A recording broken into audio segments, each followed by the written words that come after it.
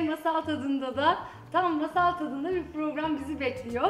Bugün Cantu'yu yakaladım sonunda. Beraber röportaj yapmaya ikna ettim. Bakalım Cantu ile ilgili bilinmezliklerimiz nelermiş? Onun hakkında bilmediklerimiz işte babalığa dair, çift olarak oyunculuğa dair, diziye dair her şeyi konuşacağız bakalım bugün. Dünyalarca sorular hazırladım. Bakalım ne kadarını yetiştirebileceğim acaba? Hangi sorularda terleyecek çok merak ediyorum. O zaman bir an önce başlayayım. Hoş geldin. Merhaba, hoş bulduk. Biz sabahleyin beraber bir oyun oynadık. Şimdi de hemen kuliste yakaladım dedim ki seninle röportaj yapmalıyım. Hiçbir yere gidemezsin yakaladım. Yeri geldiği zaman ben de kendi deneyimlerimden bahsedeceğim ama önce dilersen konservatuvar hani oyunculuk serüvenine nasıl başladık ondan başlayalım mı? Hani küçükken hani böyle bir şeye merakın var mıydı oyunculuğa? Nasıldı? Seni tanıyalım hadi. Ben ilkokuldan beri birazcık ilgim vardı diyebilirim. Yani ilkokul yıllarında, ortaokul yıllarında böyle işte sene sonu gösterilerinde, sömestrde işte karne alırken okulda hazırlanan gösterilerde mutlaka bir rol verirlerdi bana. Lisede birazcık daha bu işi herhalde profesyonel olarak yapabilirim düşüncesi oluşmaya başlayınca da e, liseyi bitirince konservatuvar sınavlarına hazırlandım ve işte oyunculuk serüvenim Hacettepe Üniversitesi Ankara Devlet Konservatuvarı tiyatro bölümünde 2001 yılında başladı. Mesela benim de en- enteresan hiç çocukluk yıllarımda böyle okulumuzun aktiviteleri falan yok. Şimdi bakıyoruz hani okullarda hep böyle hatta veliler hep bunlara yönelik çocuklarını geliştiriyorlar, gelişmelerine izin veriyorlar ya hani. Mesela bizim dönemimizde öyle çok fazla yoktu. Bu tarz aktivite kurslara göndermek falan da yoktu hani. Onun için ben mesela hep böyle sahneye her zaman ilgimi çekmişti ama hiç okulumuzda böyle aktivite olmadığı için girememiştim biliyor musun? Ta ki lise zamanına kadar, lise 2'deyken böyle okulumuzda bir tiyatro topluluğu vardı.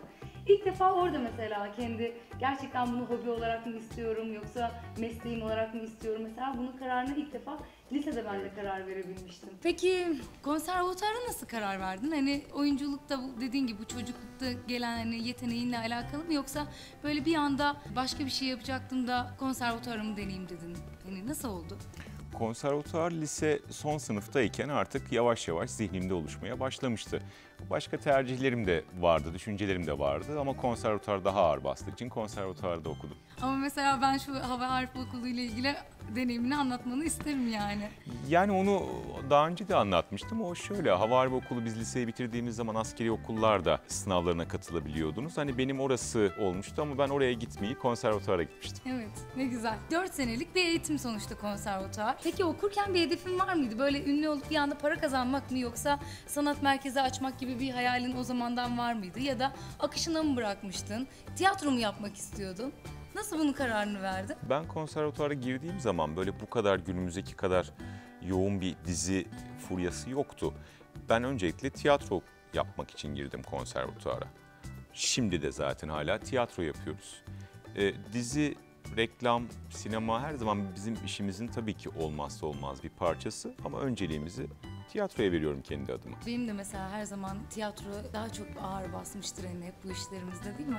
Ve tabii. Enteresan bir şekilde şey anlatmak istiyorum. Ha? Benim mesela konservatuar deneyimim. Bunu niye anlatmak istiyorum? Çünkü bizim Türk gelenek yapılarımız, aile yapılarımız böyle olduğu için de bundan bahsetmek istiyorum. Benim babam çok e, katıydı. Ben birazcık böyle despot ve asker çocuğu gibi büyüdüm. Sen zaten biliyorsun hani, hani seyircilerimize anlatıyorum. Onun için de böyle çok fazla isteklerimi dile getiren bir çocuk değildim. Ama üniversite sınavına gireceğimiz zaman artık bir tercih yapmamız gerekiyor. Çok ciddi bir sorumluluk ve sonradan fark ettim ki hani ben bunu babama nasıl söyleyeceğim dedim hani bu düşüncemi, bu isteğimi. Ama dedim bir an böyle gözümü kapattım. Dedim ki ben bunu şu anda söyledim söyledim. Eğer söylemezsem hayatımın sonuna kadar bir daha söyleyemeyeceğim. Ve masa başına böyle kendimi mutsuz iş yaparken hayal ettim. Yani çok acı bir şey aslında. Hep böyle keşke ya o anda söyleseydim. Neden söylemedim ki derken buldum kendimi. Sonra da böyle bir aile yemeğindeydik hatta. Orada ben tiyatro istediğimi söyledim. Hatta babama dedim ki yani ben bir meslek istiyorum ama hani bunu nasıl söyleyeceğimi bilemiyorum dedim. Başladım ağlamaya. Kendimi o kadar kasmışım ki yani. Sonrasında da dedim ben oyuncu olmak istiyorum deyince de dedi ki bir insanın dünyada ya istediği işi yapabilmesi kadar önemli bir şey olamaz dedi.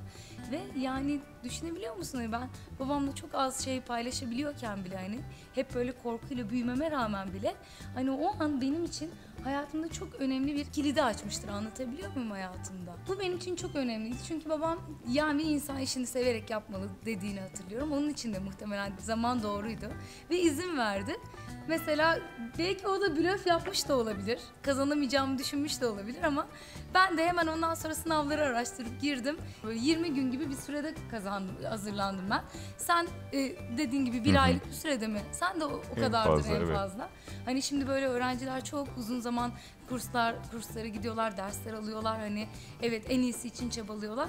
Ama aslında konservatuarın özü bundan da bahsetmek istiyordum.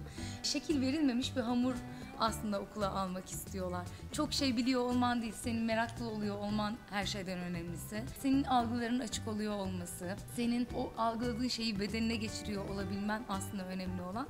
Çünkü hayat işte o gün oyunda bir anda doğaçlama öyle bir şey oluyor ki e, onu nasıl toparlaman önemli oyuncu olarak. Yani asıl işte eğitimin sebebi de bu yani. Ben böyle olduğunu düşünüyorum. Parantezi biraz uzun açtım ama hemen kapatıyorum.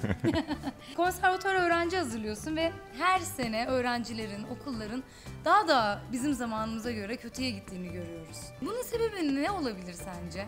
Yani kötüye gidiyor demeyelim. Bu göreceli. E, tabii ki konuşuyoruz hani bizim zamanımızda çok klişe bir cümle bizim zamanımızda şöyleydi.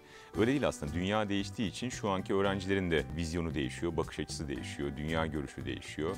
Belki bize göre çok daha ya işte okumuyor, etmiyor dediğimiz öğrenciler başka bir yerden çok daha bizi 3'e 4'e katlayacak bir noktaya geldiler. Evet eksiler var ama artıları da çok fazla. Hani bunu şundan dolayı diyemiyorum. Sadece dünyanın değişmesinden dolayı artık çağ değişiyor, nesil değişiyor. Bundan dolayı olduğunu düşünüyorum. Evet ama mesela mesleğimizin gerektirdiği şeyler çok okumak, çok izlemek, işte merak etmek. Hani ama bu tarz asıl ana şeylerin mesela eksildiğini gördüğümüz için hani diyelim ki sınavda işte bunları soruyorlar dediğimiz noktada E ona tabii okumaları gerekiyor. zaman, doğru, mi? doğru, doğru. Tamamen nesille alakalı yani birazcık daha böyle her şeyi yüzeysel yaşıyoruz sanırım.